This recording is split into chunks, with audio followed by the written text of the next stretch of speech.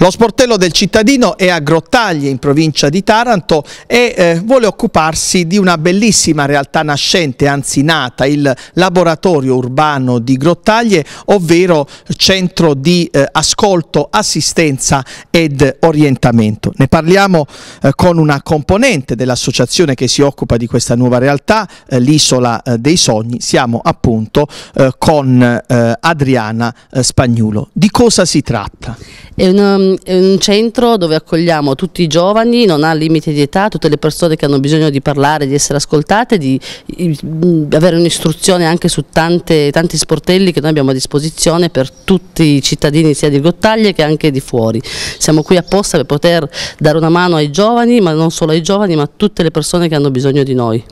Diciamo che in un certo qual modo non vi sostituite alle, alle, istituzioni per carità, ma le affiancate, cercate di dare un supporto. Ed è bello che ci siano tanti comparti, tanti sportelli, come il nostro sportello. Certo, abbiamo tanti tipi di sportello come immigrazione, sportello informatica, sportello di lingue, sportelli di musica, sportelli di tutti i tipi, tutto quello che riusciamo a fare per poter aiutare i problemi di oggi, la, tutto quello che c'è adesso in attualità e tutte le cose che possiamo fare, noi siamo qui per aiutare tutti.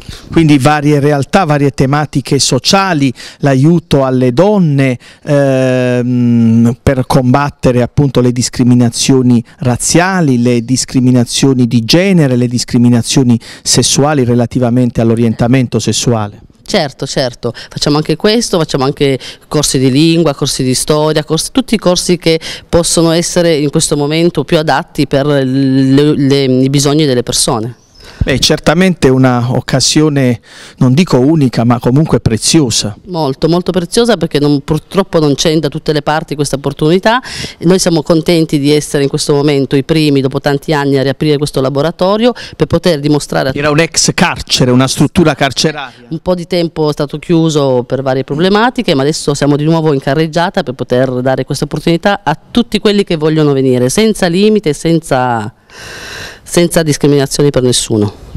E noi nelle prossime puntate eh, ci trasferiremo per così dire qui allo, eh, al laboratorio urbano di Grottaglie e visiteremo i vari sportelli.